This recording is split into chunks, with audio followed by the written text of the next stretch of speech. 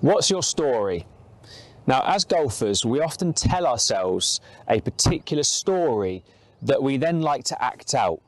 So we become actors in a story rather than directing our own story. Now, I'm going to use the three foot putt as an example because it's one I hear a lot about from golfers.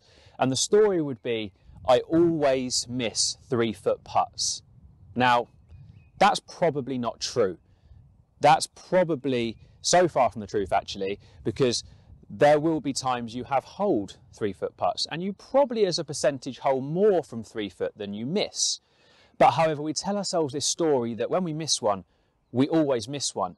And we almost, we almost then can't wait to prove ourselves right or prove our friends right. As soon as we've missed it, the reaction is, Told you I always miss those putts. Well, do you? Do you always miss them, or have you just missed that one that's in front of you? So I challenge you to change your story. Change that story to I have a three foot putt. There is a percentage chance that I may miss this, but there's more of a percentage chance that I'm going to hole it. So you just take that putt for what it is and you, you hit the putt. You then go into that putt directing the story of there's some truth behind the fact I might miss, but it's not the truth. It's not the whole truth. I'm not always going to miss those putts.